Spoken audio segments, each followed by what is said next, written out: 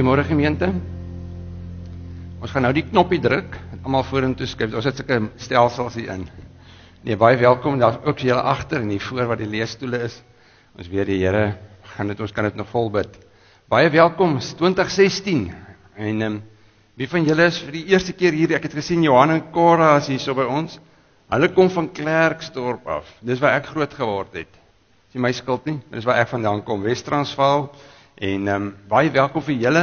Kuier julle hier of bly julle hierso? Kuier hierso. Baie welkom. Wie's vir die nog vir die eerste keer hierso? Julle kuier nou weer hierso, maar julle was daar maar ek sien Lennis hierso, hy kom van Kuwait af. Weet nie wat dit daar. Hier sit hy, hier sit hy anderie.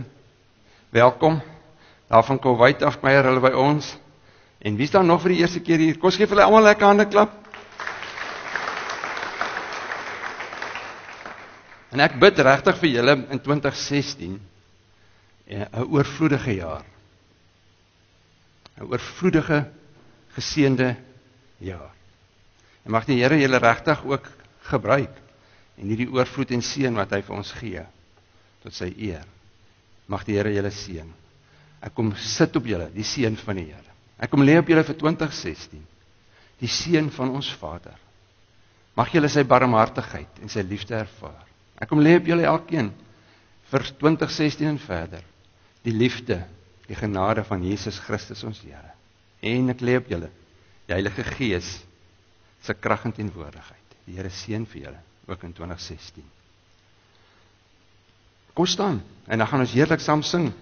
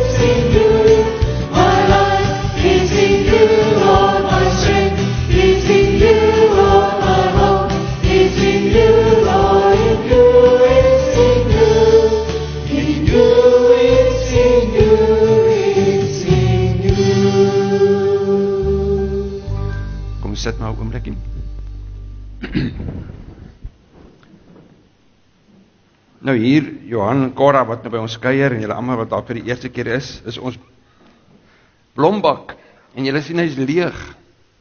Want dit is 2016 en ons glo mos dat die Here hoor ons gebede en hy verhoor. Sê partykeer ja, partykeer sê hy nee, partykeer sê hy wag 'n bietjie, maar God hoor altyd. Hy's altyd betrokke. Julle sal weer vanoggend hoor. So hier's nou 1 2 3 en 'n klomp ander blomme 4 5 6.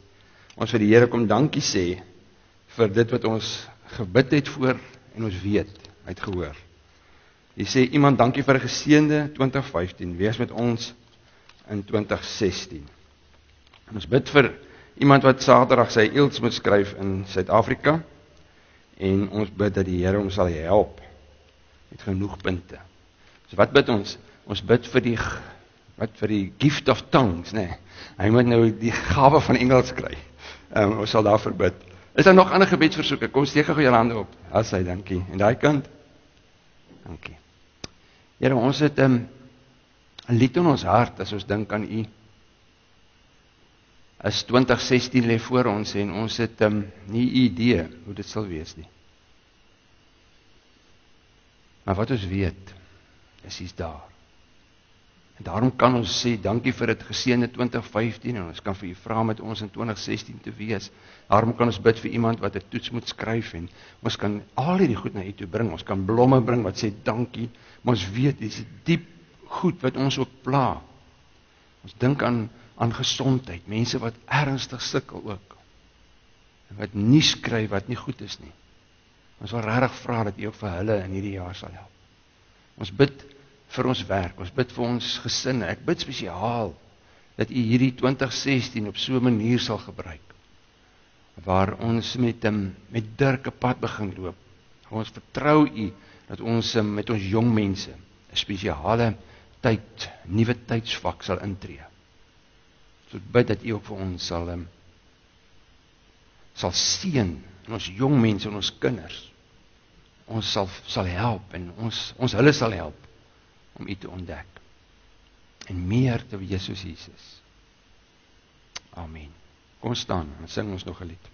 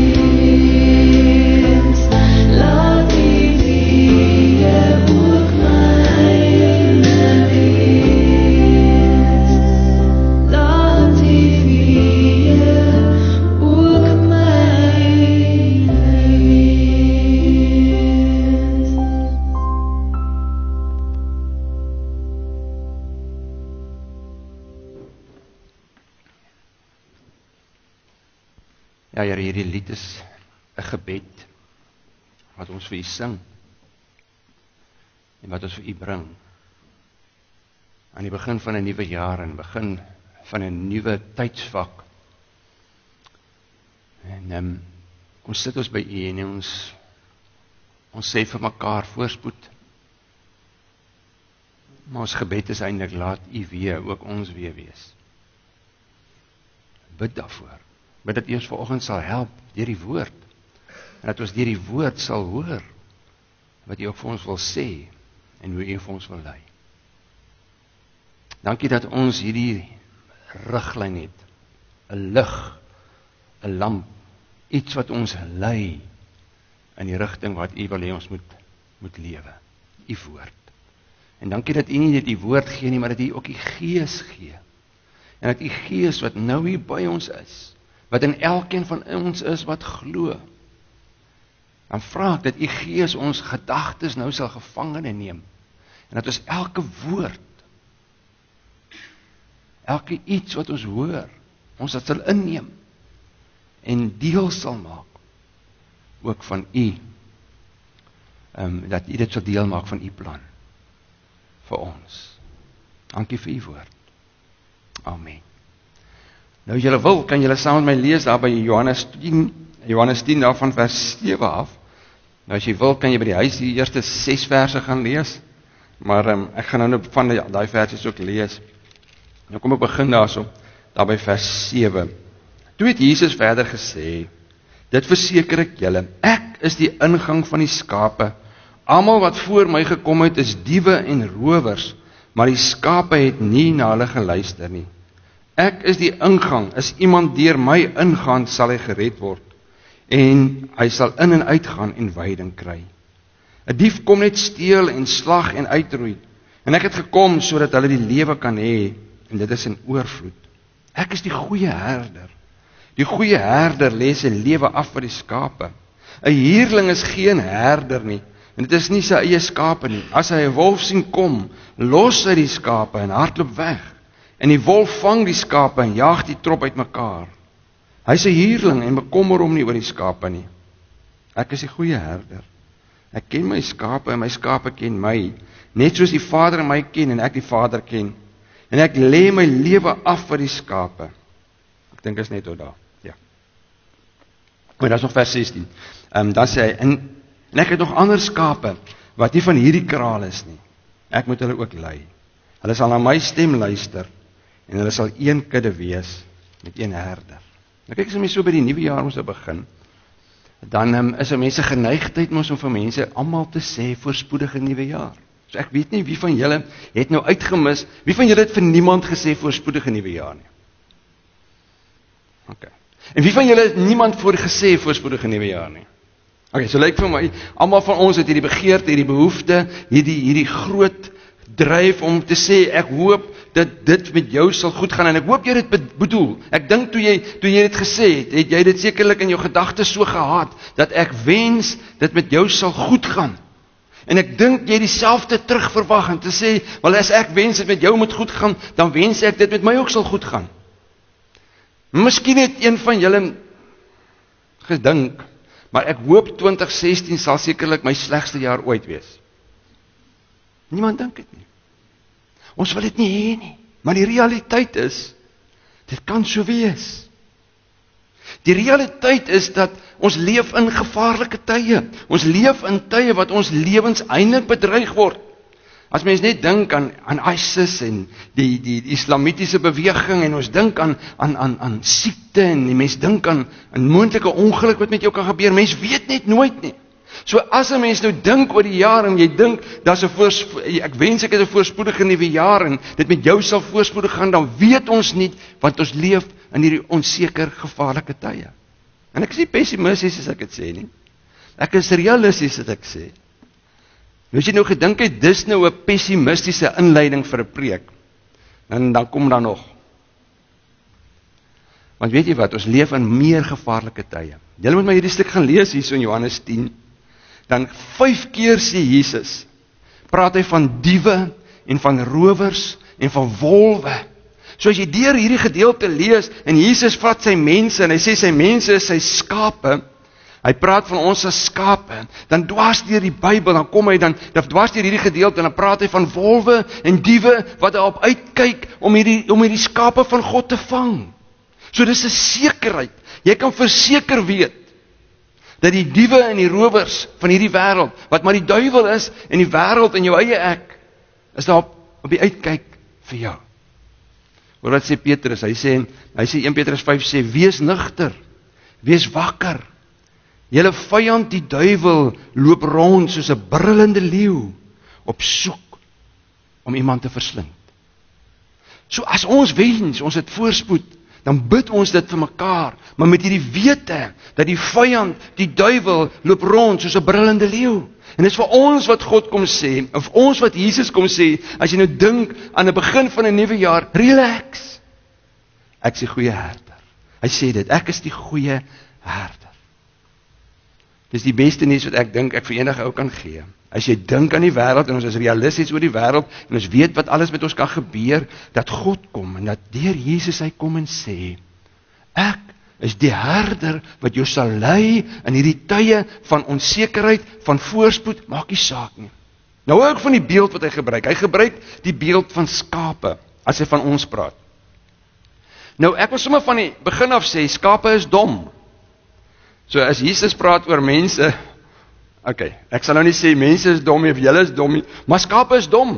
Een van die eerste dinge wat skape vooruit staan waarvoor hulle bekend is, is skape raak maklik verlore. Kyk 'n skaap sit ons nou so en dan kyk hy daar so deur hierdie hy sien nie die draad nie, hy sien nie die groen gras. En dan gaan hy vir die groen gras. En dan dan raak hy verdwaal of hy klim oor 'n kloof of hy hy spring oor 'n kloof en daar aan die ander kant sien hy is die groen gras want hy gaan daar waar dit vir hom beter lyk. En as Jesus dan kom sê ons is skape, ons is sy skape, dis een van die belangrike goed wat ons ook moet hoor. Ons raak ook maklik verlore. Dit is so maklik dat jy in 2016 kan ingaan en jou lewe kan lewe, nou al reeds so kan lewe om te sê, daan die ander kant is die beter plek. Buite God, dit lyk vir my groener daan die ander kant. Dit kan enigiets wees vir jou so sal aantrek in 2016 dat jy dink dis beter om nie by God te wees nie. Dan sê die Bybel. Dan sê Jesus, dis hoekom jy 'n goeie herder het. Dis hoekom ek my kom aanbied as 'n goeie herder want ek weet in 2016 gaan jy die groen gras sien weg van my af. Jy gaan goed kry wat jou wegtrek van my af. Ek gaan daar wees. 'n Tweede ding van 'n skaap. 'n Skaap het mos geen verdediging nie.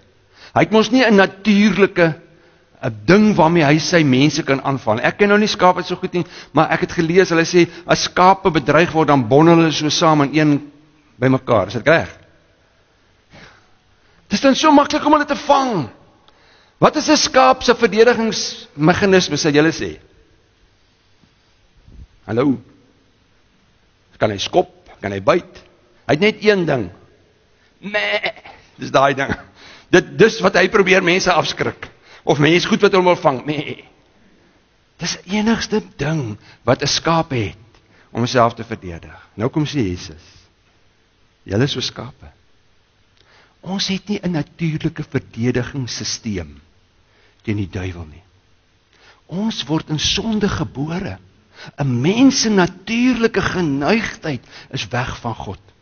Ons is natuurlik op pad weg van God. Julle kan maar gaan kyk. Almal van julle wat babatjies het en nog gaan kry en wat kleinkinders het. En daar sit twee nuwe oupa en ouma daar agter. Hulle kleinkind is gebore 31. So baie geluk julle. Maar julle sal sien, ook daai kleinkind is geneig weg van God af. En nou sê die herder, relax.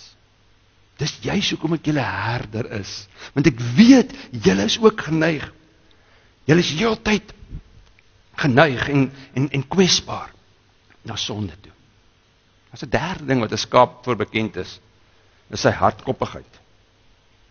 Kyk, 'n skaap besluit hy wil in daai rigting loop. Jy kan met hom praat, jy kan met hom loop, hy loop in daai rigting. Hy is asof hy besluit het it's my way and it's my life, ek gaan in daai rigting. Nou lees ek met iemand sê van 'n skaap. Hulle sê is 'n skaap sy kop binne in 'n in 'n in is hy so in 'n tussen twee rotse sy ska, sy sy kop indruk. dan is die die skaap se neiging nie om sy kop uit te trek nie. Hy's besig om vorentoe te druk. Asof hy vir hierdie rotse wil sê, "Wel ek sal julle uit my kop uitstamp, uit my plek uit my pad uitstamp met my kop en my skouers." Hy dink nie daaraan nie. Hy dink ek sal hierdie goed wegstamp. Ken julle sulke ouens? It's my way. It's my life. Only my way. Niemand sê vir my nie man.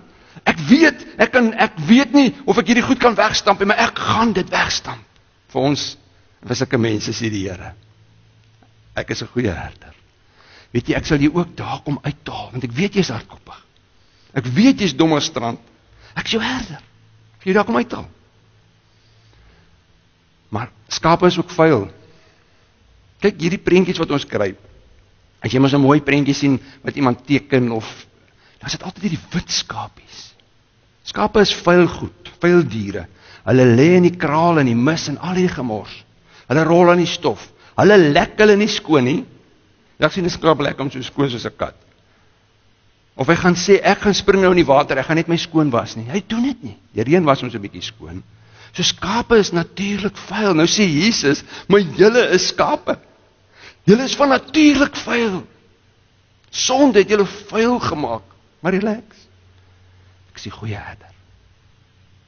Hoor wat staan dan Jesaja skryf lank voor Jesus skryf by die volgende. Hy sê ons het almal gedwaal so skape. Elkeen het sy eie pad geloop, maar die Here het almal se sonde op hom, mens kan sê Jesus, laat afkom. Dis die een kant.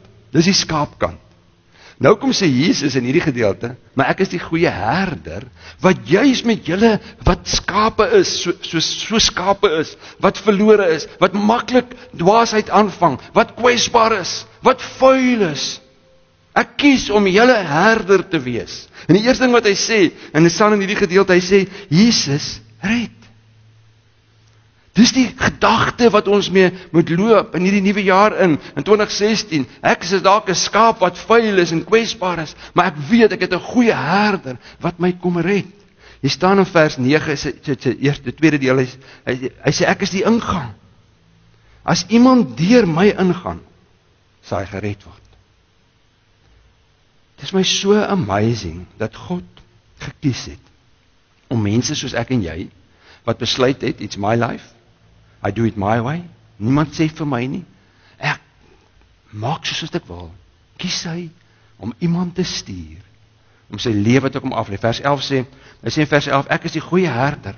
Die goeie herder lê sy lewe af vir die skape. Dis nie soos Jesus kom en hy kom haal ons uit die gemors uit. Hy betaal daarvoor. Hy het sy lewe afgelê. Hy het gesê ek sal in julle plek sterf sodat julle gered kan word.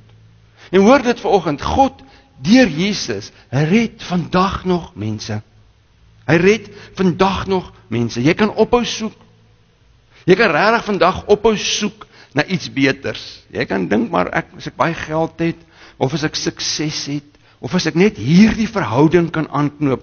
As ek net daai ou of daai meisie of daai vrou kan kry wat beter dalk as my vrou is, dan sal alles met my goed gaan.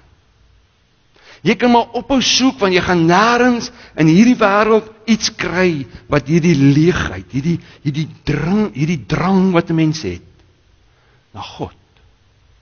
Ja, nêrens anders dit kry by Jesus. Dis vir vir my 'n belangrike ding wat ons moet hoor is dat Jesus, die Bybel sê dit, Jesus kom, hy sê ek het gekom om te soek en te red. Dis Jesus wat ons kom soek en vind. Mense sê baie keer en ek weet wat hulle bedoel. Uh, hulle sê ek het die Here gevind. Asof die Here wegkruip of dalk weggeraak het of verlore kan raak. Ek weet wat hulle bedoel. Maar hoor dit vanoggend. Dis nie jy wat die Here vind nie. Dis die Here wat jou vind. Dis hy wat jou gaan haal daar waar jy in die sonde in die vuilheid van sonde is. Dis die Here wat sê deur sy herder, ek gaan jou soek. Is jy wat kan sê Maar as u my gekry het, ek wil u nie hê nie. Ek wil nie deel met u wees nie. Ek wil my eie pad loop. Jy het daai keuse, maar moet nooit dink hy sal ophou om jou te soek nie. So 2016 kan jy instap om te sê, die Here red my. Hy sal my aanhou soek. Dis ons God. Nou kan 'n mens nou amen sê hier. Maar dan gaan ons te vroeg huis toe. Maar nee, daar's nog meer, dis soos hierdie televisie advertensies. Dis die eerste ding. Die tweede ding wat hy sê is hy voed en versorg ons. Hoor wat staan in vers 9 se tweede deel. Hy sê hulle sal in en uitgaan en veiding kry. Hoor soos jy ehm jy hy praat van um, gaan nie gou vir my aan? Nee, is okay. Gaan my weer terug. Hy praat in Engels van I will take them to pastures. Ek wil vir hulle, ek sal hulle vat en ek sal vir hulle kos gee. So die tweede ding wat jy kan weet in 2016 en verder, as ek saam met die herder loop, ek wat 'n skaap is wat geneig is om droog te maak, geneig is om om aangeval te word deur die duiwel, as ek saam met die goeie herder loop en ek laat hom my vind en ek loop saam met hom nadat ek gered is, dan loop hy en hy voed my. En hy sal my geestelik opvoed. Psalm 23 is so mooi. Luister wat sê hy in Psalm 23. Hy sê die Here is my herder. Wat staan daar? Ek kom niks kort nie. Jy hoef nie buite God vir iets anders te gaan soek vir kos nie. Jy jy is soos 'n skaap, jy's dom as jy buite God iets gaan soek om hierdie drang na beter wees, na oorvloed, gaan jy net by hom kry. Hoor as hy vers 2, hy sê hy laat my rus in groen weivelde. Hy bring my by waters waar daar vrede is. Hy gee my nuwe krag. Kyk wat sê die Engelse laaste deel. He restores my soul. As jy in 2016 ingaan, gaan jy moeg raak. Maar die goeie herder sê, ek gaan jou net red nie. Ek gaan jou net soek en vind nie. As ek jou gesoek en vind het, dan voed ek jou. Ek sal jou versorg. As daar wonde is, I will restore your soul. As daar seer is, ek sal daar wees. As daar as jy honger is, ek sal daar wees. Dis die goeie herder. Maar nou weet julle, en ons weet nie hoe gaan 2016 vir ons uitdraai nie. Miskien gaan jy deur die dal van doodskade weer. Vers 24 van Psalm 23 sê: "Selfs al gaan ek deur die donker dieptes, sal ek nie bang wees nie, want U is by my in U hande. Is ek veilig." Nou die die ou vertaling het gesê: "Al gaan ek deur die dal van doodskade weer." So ek weet nie wat 2016 vir jou en vir my gaan inhou nie, maar jy kan verseker weet as ek deur die dal van doodskade weer self moet stap of iemand anders dan moet deur help, dan sê Jesus in die Engels sê, "I will comfort you." Ek sal daar wees, want ek is die goeie herder. Want ek is self daardeur. Jesus is self, hy het my nou gesê, ek lê my lewe af vir die skape. Ek weet hoe dit is in die dal van doodskade weer. Ek was in die dood, maar ek het dit oorwin. So ek weet nie waar 2016 jou vat nie. Maar weet dit. Al moet ek deur die dal van doodskade weer gaan. My God, Jesus is my redder, ag my herder. Hy gaan saam met my stap. Maar daar's nog meer. Hy sê volgende ding, hy sê ek gaan jou nie red nie. Ek gaan nie net vir jou versorg en voed en as jy met hierdie dal van doodskade weer, gaan ek saam met jou wees nie. Hy sê ek gaan vir jou lewe gee. In hierdie lewe. Ek gaan vir jou lewe gee en dit in oorvloed. Hoor wat staan vers 10. Hy sê die dief kom net en hy steel en slag en uitroei. En ek het gekom sodat hulle die lewe kan hê en dit in oorvloed. Dis nie 'n eendag nie. Nou hoor wat sê die eerste gedeelte. Die duiwel. Die duiwel het reeds 2016 vir jou uitgewerk. Hy het reeds 'n plan. Want hy is voortdurend daarop uit soos wat Jesus sê om te kom steel en te slag en uitroei. Die duiwel het een plan vir jou lewe en jou eie ek saam met die duiwel en die wêreld. Het hierdie een plan en dis om jou uit te roei. Nou in Afrikaans weet julle dalk nie julle jong mense nie. Is to destroy you. Die duiwel se plan vir jou vir 2016 is ek namens hom moet praat is to destroy you. Dis wat die Bybel sê. Dis sy gedagte vir jou om jou dood te maak. Geestelik weg te vat van God af. Jy moet vir geen oomblik dink dit gaan nie gebeur nie. Behalwe en dis wat Jesus sê. Hy sê hoor die ouens, daarteenoor gee ek vir jou lewe. Ek gee nie net vir jou lewe nie, ek gee vir jou lewe in oorvloed. En hy alleen kan dit sê, want ons het 2 weke terug Kersfees gesien, hy's die bron van die lewe. Die lewe het by Jesus ontstaan. Hy het die asem in mense ingeblaas. En hy het nuwe lewe kom gee deur sy eie lewe, want hy sê ek lê my lewe af sodat jy kan lewe en sodat jy in oorvloed kan lewe. As God goed doen, dan doen hy die Engels praat van there's no half measures. Daar is nie halwe maats mate by God nie. God doen niks half nie. As God doen, doen hy dit nie eers vol nie. Hy doen dit oorvol. Hy's 'n God wat oorgee. Ek het toe 'n paar weke terug toe ons gepraat het oor die prodigal son, het ons gesê die prodigal son, prodigal beteken om oormatig te gee. Toe het ons gesê God is 'n oor 'n prodigal God wat oormatig gee. Wat nie kan help om sy genade op mense uit te stort nie. Hy gee meer as wat jy nodig het. Hoor wat sê Psalm 23. U laat my by 'n feesmaal aansit terwyl my teenstanders moet toe kyk. U ontvang my God, ontvang my soos 'n eregas en ek word oorlaai met hartlikheid. U goedheid en liefde sal my lewe lank by my bly en ek sal tuis wees in die huis van die Here tot in lente van daardie ou vertaling sê hulle onthou. Hy sê hy maak my my hoof vet met olie. Hulle dan nou daai tyd het hulle as jy 'n gas was, het hulle jou gesalf. Maar hy sê ek salf jou nie. Ek gooi sommer die hele bottel op jou uit. En dan sê hy die ou vertaling het gesê en my beker is half. Nee, wat het hy gesê? My beker is vol. Hy het gesê, sit gou weer daaraan. Die my beker loop oor. Hoor wat sê die Engels? Hy sê my cup, my cup overflows. Dis ons God. Hy sê ek gee nie net vir jou lewe nie. Ek gee vir jou lewe in oorvloed. En daai daai lewe in oorvloed, ek en as jy nou gaan kyk wat sê die vertaling daarvan. Dan is daar nie genoeg byvoeglike woorde nie. Hy sê die Engels sê exceeding abundantly. Nou abundantly soos ek nou my Engels verstaan, is al klaar baie. Nou exceeding abundantly. Beyond measure. More than is necessary. Dis wat die Griekse woord beteken. So as jy dink aan 2016 en jy sit by die kraal van Jesus, dan sê hy ek sal jou red. Ek gaan jou versorg. Ek gaan jou voed. Jy gaan opgevoed word by my geestelik opgevoed by my. Maar jy gaan lewe kry as jy by my kraal kom sit in oorvloed. Nou ek jy kies. Wil jy by die kraal dan van sonde gaan sit in 2016?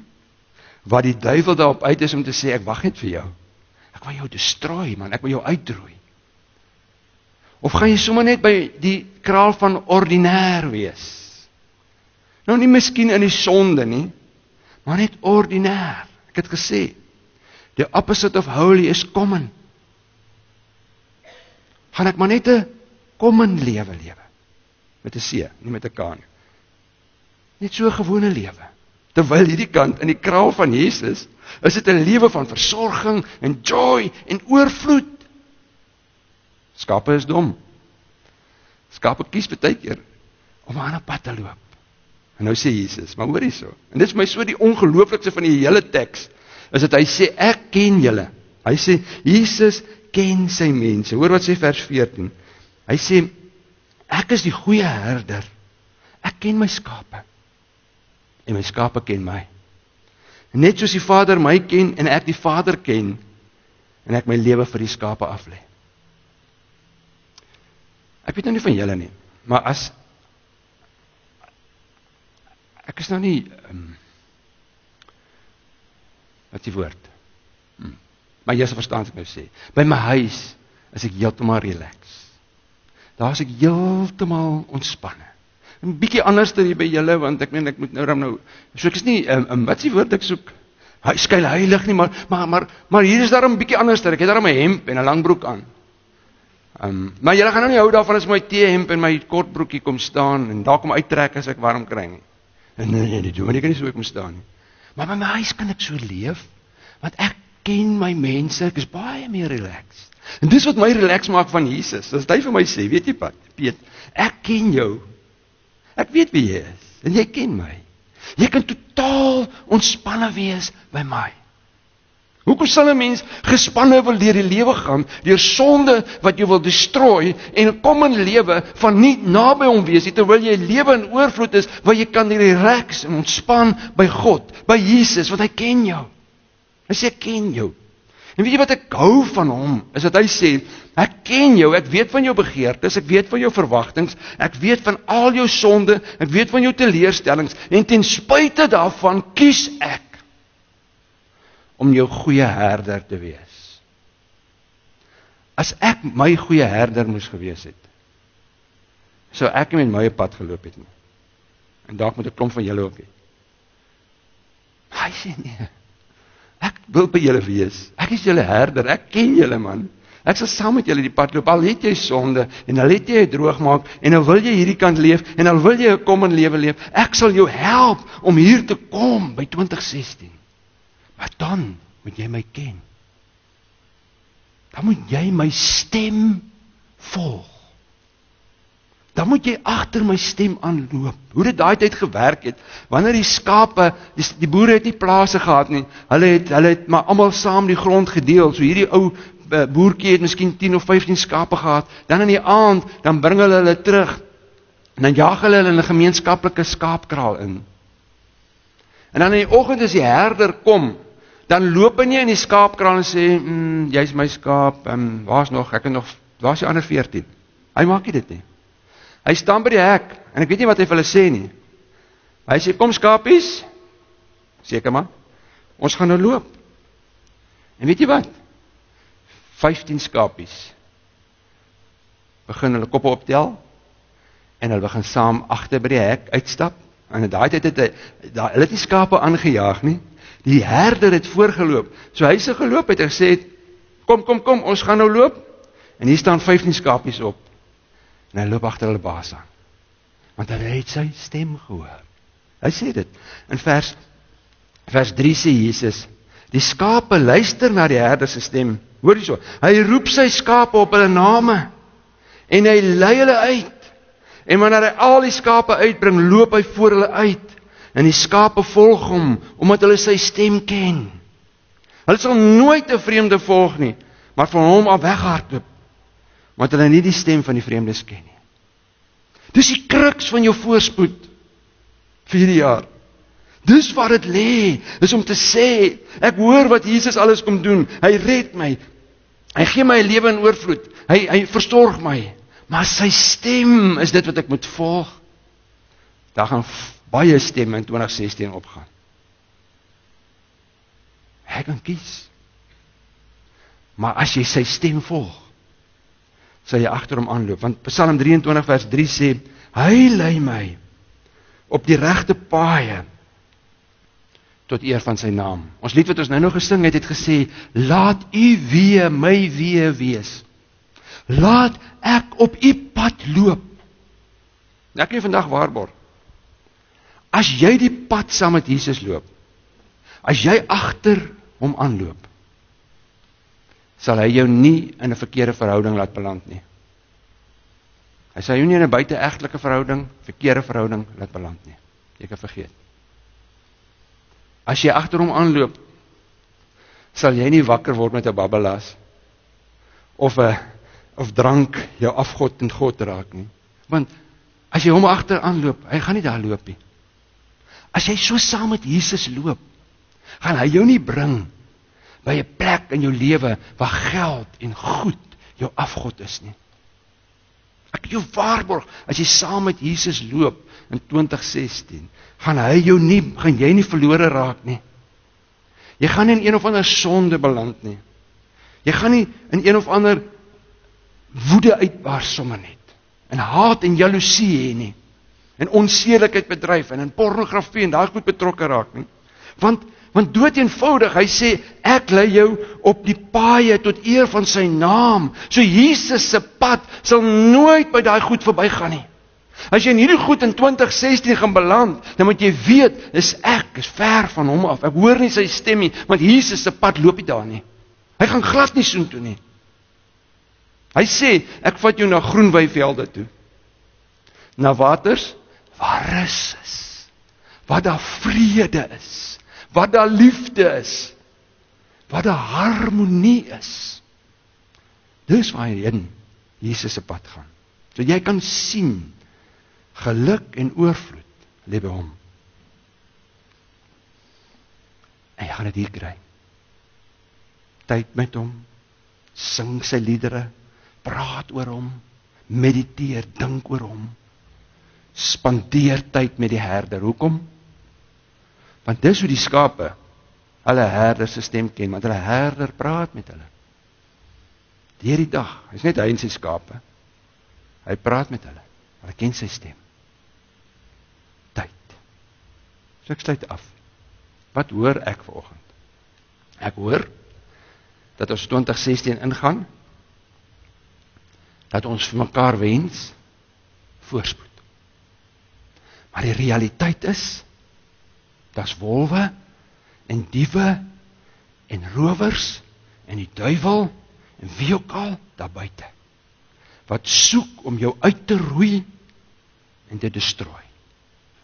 Ek hoor dat Jesus sê of dat ek lees oor skape, skape is dom.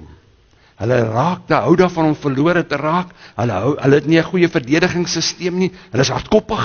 My way. En hulle is vuil, hulle is vol sonde.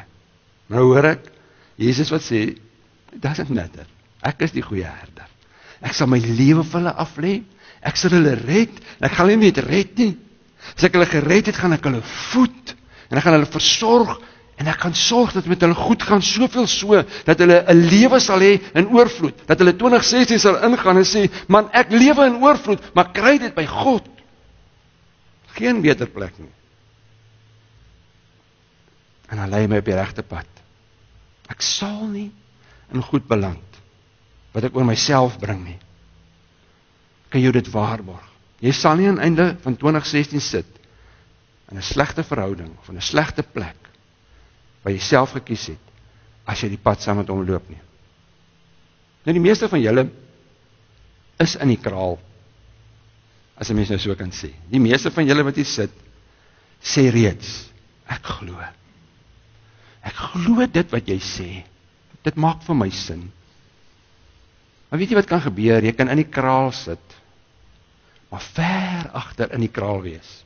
Want kyk, daai tyd het dit so gewerk dat as hulle buitekant is, het hulle ook baie keer 'n kraal gemaak en dan het hulle sommer so 'n kraal van van van van van stene gemaak en dan het hulle doringtakke boor gesit. En daar was dan nie 'n hekwagter nie. Dan het die herder die hek. Nou Jesus sê dit, ek is die hek. Dan het die herder in die hek gaan slaap. En is daar waar hy met sy skapies gepraat het en kos gegee het. Nou as jy nou die skapie in die kraal is en jy kruip daar agterweg, jy is in die kraal. Jy glo, maar jy's nie naby hom nie. Dan mis jy die hele tyd sy kos. Jy hoor nie meer sy stem nie. Jy hoor net die gebrul van die leeu en jy raak vreeslik senuweeagtig. Maar hoe nader jy aan die herder beweeg, hoe meer kos kry jy. En hoe meer oorvloed kry jy. En hoe meer ken jy sy stem en hoe minder skrik jy vir die leeu. Daarom bid ek vir jou en vir my 'n oorvloedige 2016. Here Jesus. Ons gaan in onseker tyd in. Ons weet mos nou nie wat gaan gebeur in hierdie jaar nie. En tog het ons vir mekaar gesê ek wens dat dit met jou sal goed gaan. Dat jy 'n geseënde nuwe jaar sal hê. Happy New Year sal hê. Here, daar's geen happiness buite U nie. Die lewe in oorvloed is by U. Die die versorging en die en die voeding is by U. Die redding is by U. Net U alleen red. Here, ons weet ons is baie keer so dom. As ons kies om 'n pad te loop daar by die sonde verby en ons hoor vanoggend dat die duiwel is daarop uit om ons te destrooi. En ons kies en ek wil saam met hierdie gemeente kies om te sê Here, ek wil nie eers kies net 'n lewe van van van komme nie. Ek wil 'n lewe kies om saam met U te loop vir 2016, 'n nuwe pad. Sodat ons die stem kan hoor, sodat ons lewe kan hê in oorvloed waarvan ons beker sal oorloop. Dis net U wat so iets kan doen. Niks anders sal ons bevredig nie. En daarom bid ek vir hierdie gemeente. Elkeen wat hier sit en elkeen wat nie eers hier is nie, dat hulle in hierdie jaar so honger sal wees.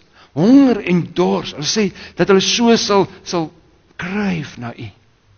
Dat hulle sal sê in 2016 ek kan nie help nie, ek moet net meer van God weet. Ek moet meer tyd met hom spandeer.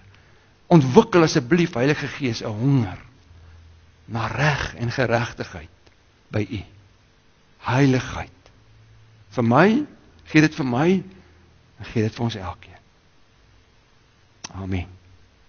Kom ons staan. En ons sing ons 'n gebed.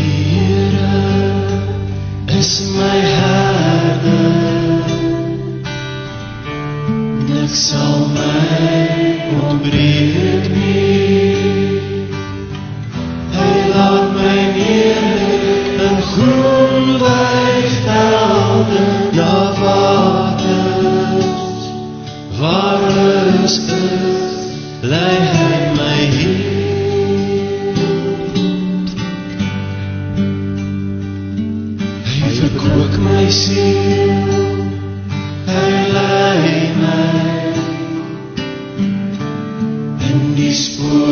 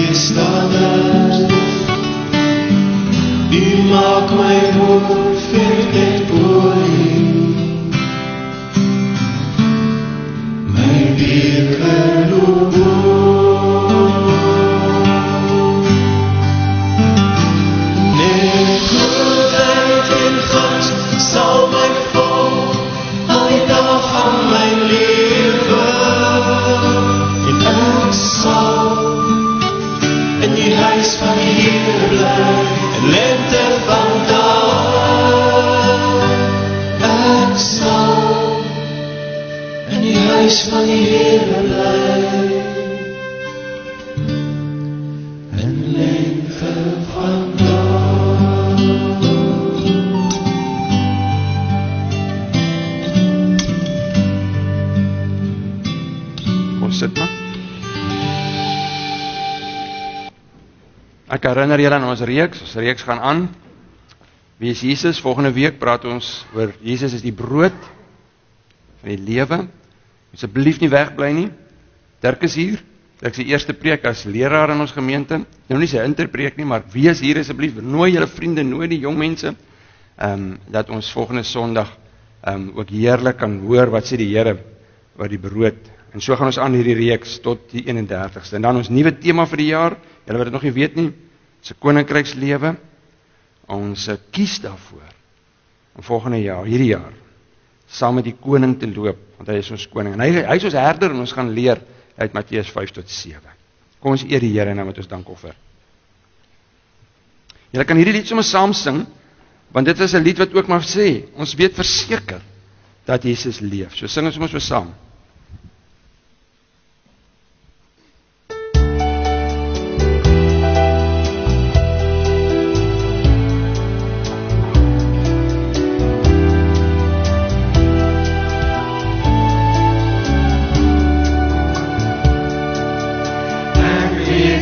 Verseker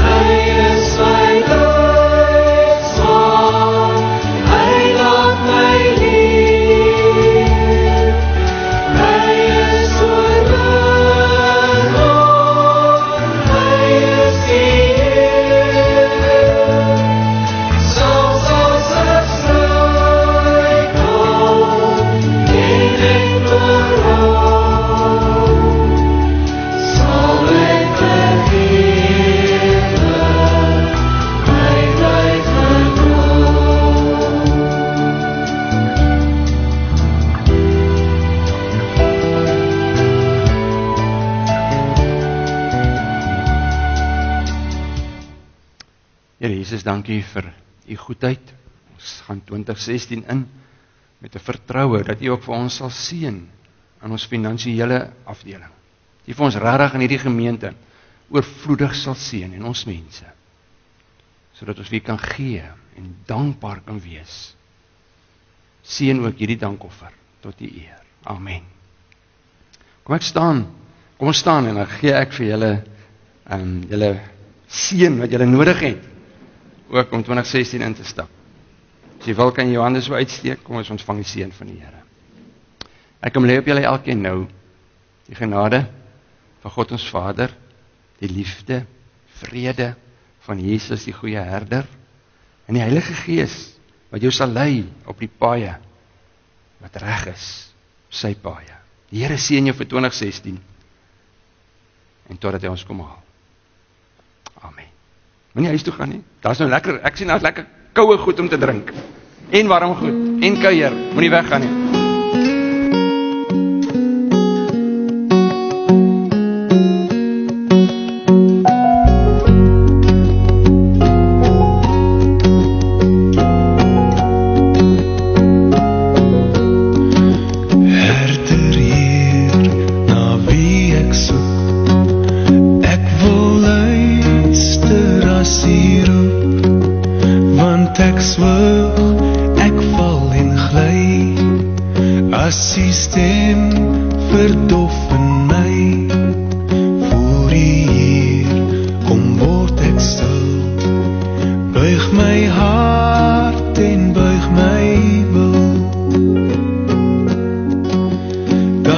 Daar